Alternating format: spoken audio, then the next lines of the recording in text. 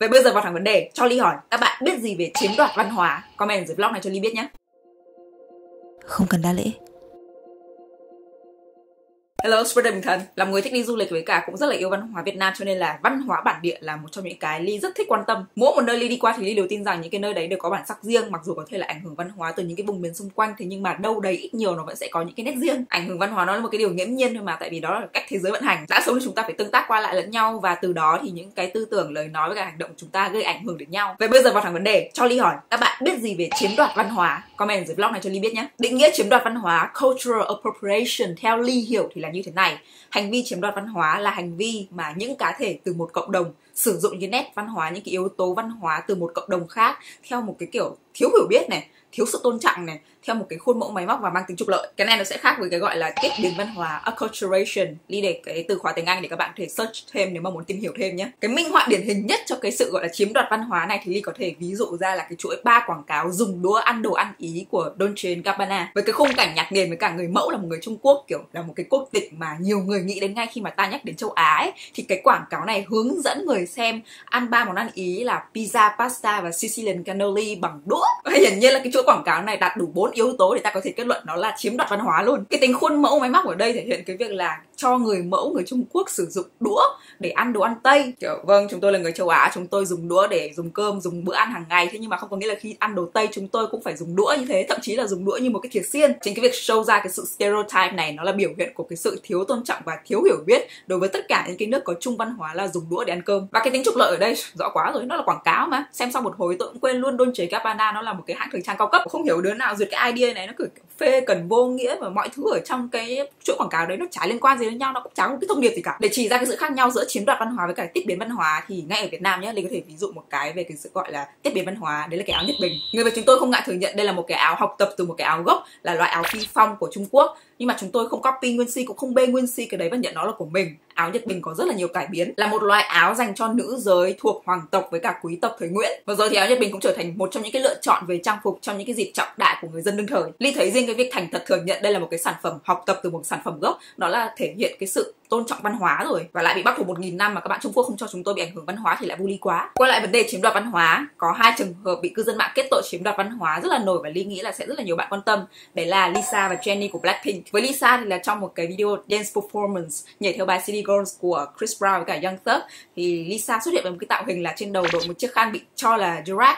là một cái item rất là phổ biến trong cộng đồng hip hop của người da màu. Còn Jenny thì gần đây tham gia một vai diễn trong một cái dự án tên là The Idol của HBO thì trong trailer có một cái cảnh là Jenny nhảy và cũng là một thứ trên đầu là Jenny để kiểu tóc cornrows ấy thì nó cũng là một cái nét văn hóa của người da màu. Thứ nhất để mà nói hai em bé này chiếm đoạt văn hóa thông qua những cái yếu tố làm đẹp thì Ly thấy khá là unfair bởi vì là một nghệ sĩ khi tham gia một cái dự án nào đấy, nhất là cái kiểu idol Hàn Quốc ấy thì cái việc tạo hình khó có thể nói là nó là quyết định của chính nghệ sĩ đấy. Ý là có thể là nghệ sĩ khi mà tham gia một cái dự án nào đấy có thể góp ý về những cái tạo hình về những cái gì mà họ muốn mặc muốn làm đẹp. Thế nhưng mà đến cái tạo hình cuối cùng ấy là nghe theo ekip. Nên là nhìn vào đấy để cáo buộc và chỉ trích trực tiếp cái chính cái nghệ sĩ đấy thì nó khá là không công bằng. Thứ hai là cho ly hỏi cái này nhé nếu mà cái việc Lisa và Jenny đắp lên người những cái yếu tố làm đẹp thuộc nền văn hóa khác mà bị coi là chiếm đoạt văn hóa thì những cái sau đây Ly nói đây thì nó có bị coi là chiếm đoạt văn hóa không? Các bạn comment cho Ly để cùng thảo luận nhé. Thứ nhất, là người Việt nhưng mà chúng ta chỉ luôn chọn và tập make up kiểu Hàn Quốc, kiểu Mỹ. Thứ hai chúng ta mặc quần áo và làm những kiểu tóc từ những cái shop với cả những salon theo phong cách Hàn Quốc. Thứ ba là có những bạn rất thích và theo cái kiểu ăn mặc mang hơi hướng là bohemian thế nhưng mà cái lối sống nó không phóng đãng được như người Zigan hay người ta gọi là gypsy đó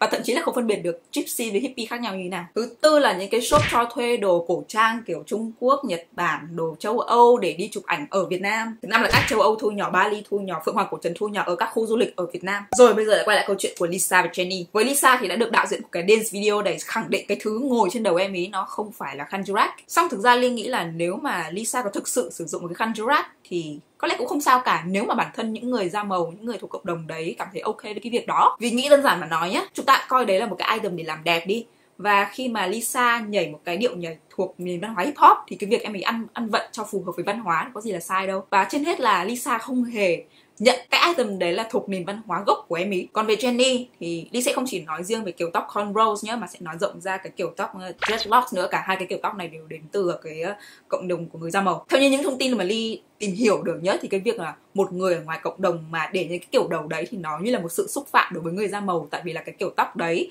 nó gợi nhớ về cái quá khứ nô lệ của cộng đồng người da màu. Đó là thông tin Ly đọc được trên mạng nhé còn về một câu chuyện kiểu, gọi là cá nhân đi, thì Ly có một em bạn thì em ấy để đầu dreadlocks. Và người làm cho em ý là một người bạn người da màu. Và em bạn ly kể rằng cái người bạn da màu đấy của em ý nói rằng là họ không cảm thấy xúc phạm gì và thậm chí là thấy thoải mái khi mà cái việc có những cái người ờ, thuộc chủng tộc khác ăn vận và dùng những cái nét văn hóa của họ làm đẹp bằng những cái nét văn hóa của họ. Thực ra cái đấy chỉ là một cái suy nghĩ cá nhân của cái người đấy thôi đấy là một câu chuyện ly kể lại thôi thì không có nghĩa là uh, họ tất cả mọi người trong cộng đồng đấy ai cũng thoải mái ly nghĩ là như thế. Nhưng mà cái câu chuyện này nó chứng tỏ một điều rằng chắn sẽ có những cái người thoải mái với cái việc là có những người thuộc chủng tộc khác làm đẹp theo cái nét văn hóa của những người da màu. Thế thì thử nghĩ là xem ly là người việt nhé thì bây giờ có người ngoại quốc ở đấy đội cái mấn xong rồi thì thích quá xong rồi biến nó thành một cái item làm đẹp kiểu thường nhật luôn ý, ly cảm thấy rất là vinh dự luôn. Nên là ly thực sự rất là thắc mắc những cái người overwork ấy, tức là những cái người nhạy cảm đến mức cực đoan trong vấn đề chiếm dụng văn hóa ấy. Họ thực sự đến từ nền văn hóa nào? Có phải họ là những người đến từ cái nền văn hóa đang là nạn nhân của sự chiếm đoạt không? Hay họ là những người, ly xin lỗi, không muốn dùng cái từ này nhưng mà kiểu, gọi là nó dễ hiểu thì là khóc thuê ấy. kiểu họ đến từ một nền văn hóa C nhé và họ đi khóc thuê trong một nền văn hóa A mà họ cho rằng đang là nạn nhân của một cá thể hay là một cộng đồng đến từ văn hóa B. Tức là họ cho rằng nền văn hóa A đang bị nền văn hóa B chiếm đoạt ấy. Mà trong khi, kiểu, những người đến từ nền văn hóa A còn chưa lên tiếng với cái việc đấy. Chúng ta vẫn còn rất mơ hồ về khái niệm giữa chiếm đoạt văn hóa và tôn vinh văn hóa ấy, nên là dẫn đến những cái tranh cãi không đi đâu về đâu hết. Đầu năm Ly có làm một cái ờ, vlog về cách tân Việt phục ấy. Trong vlog đấy Ly có nói một câu như thế này. Khi ta áp dụng một cái yếu tố gì đó vào những cái thứ của chúng ta, vào sản phẩm của chúng ta, điều chỉnh nó, khiến nó trở nên hài hòa hơn theo phong cách của chúng ta, thì toàn bộ cái sản phẩm đấy chính là của chúng ta. Nghe xong cái đấy thì nhiều bạn cảm thấy cái câu đấy nghe nó giống chiếm đoạt văn hóa và nhờ cái blog đấy mà ly viral khắp các group bóc phốt của giới chơi việt phục. Tiên không tùy các bạn, dù các bạn có chửi thậm tệ nhưng mà ly vẫn không hề những cái suy nghĩ đấy của mình là sai với cả ly không thấy hổ thẹn với ai cả. Tại vì khi mà ly đưa ra cái ví dụ về cái tay áo rắc lăng được ứng dụng vào áo dài bây giờ, với cả cái bộ chữ quốc ngữ mà không phải là do người việt chúng ta ghi âm đâu mà là do giáo sĩ bồ đào nha, sau đó là người chủ việt chúng ta dùng đến tận bây giờ ấy, nó vẫn là của chúng mình mà, thì chả thấy ai phản bác lại ly hết hoặc là con của tôi không trách xong trong cái blog đấy nhá, ở trên youtube lẫn trên facebook với cả những cái post có liên quan ấy, liên quan nội dung, thì có một cái account, có một cái account rất là chuyên tâm đi kết tội tôi là đứa hủy, hoại, giết, chết, nền văn hóa việt gì gì đấy. Cái account đấy cùng rất là nhiều account khác có một chung cái ý kiến như thế này. Đấy là nếu ta muốn sử dụng một cái yếu tố của nền văn hóa nào đấy, thì chúng ta phải đi xin phép chủ của cái nền văn hóa đấy. Thế là cũng có rất nhiều bạn vào thắc mắc kiểu họ rất là thắc mắc một cách nghiêm túc thôi mang tính xây dựng thôi ấy, là thế bây giờ cụ thể là phải đi xin ai? Xin bộ văn hóa hay, hay xin bộ du lịch? Hay là cái cơ quan nào có thẩm quyền cấp phép cho chúng ta để sau đấy chúng ta mới có thể sáng tạo dựa trên cơ sở nền văn hóa gốc? Thì cái account mà sát ly kia kìa vào rap vào phản bác nguyên văn nhé lấy kiểu xong sau đấy cái account đấy phải khóa lại, tại vì cũng nhiều bạn phản bác quá mà, kiểu, đuối từ cái thái độ xong rồi là đuối lý theo ấy. Không biết bây giờ mở lại chưa, nhưng mà dành cho các bạn vào cái phần comment của cái vlog đấy ở trên youtube hay là trên facebook nữa đấy hóng hơi tí cho vui. Nói tóm lại với ly nhá, cái sự khác biệt trong cái chiếm đoạt văn hóa với cả cái tôn vinh văn hóa trong làm sáng tạo nhé nó biểu hiện ở cái khâu tìm hiểu về cái nền văn hóa gốc và cái việc vận dụng cái nét văn hóa đấy nó trở nên có ý nghĩa như thế nào chứ không phải là việc đi, chúng ta phải đi xin phép ai. Ví dụ với cái bộ đồ diễn belly dance mà ly khoe hồi đầu năm nhé ý đồ của tôi trong cái việc chọn mẫu áo yếm làm cái phần top trong bộ đồ belly dance tại vì nó là một cái item chung mà có cả trong Travel Fusion Belly Dance lẫn là trong cổ phục Việt. Mặc dù là cái hình dáng của chúng nó có thể không giống nhau nhưng mà chúng nó có một cái tên gọi chung đấy là cái halter cái yếm, vì nó có cái nét tương đồng tiện lợi như thế, cho nên là tôi chọn thôi, chứ không phải là tôi làm cái áo belly dance đấy dựa trên cơ sở cái áo yếm của Việt Nam. No, I never said that. Headdress nó cũng là một cái item rất là phổ biến trong travel fusion. Và vì Ly thích với cả Ly cảm thấy một cái sự tiện lợi khi mà đội lên đầu, cho nên là Ly chọn cái mấn nó là một cái sát gốc để làm ra một cái item đội đầu khi mà biểu diễn belly dance thôi. Vì cái thứ nằm trên đầu mình, nó được lấy ý tưởng từ một cái phụ kiện mang tính đương đại 100% thuần Việt là cái mấn, nên tôi gọi nó là cái mấn thôi.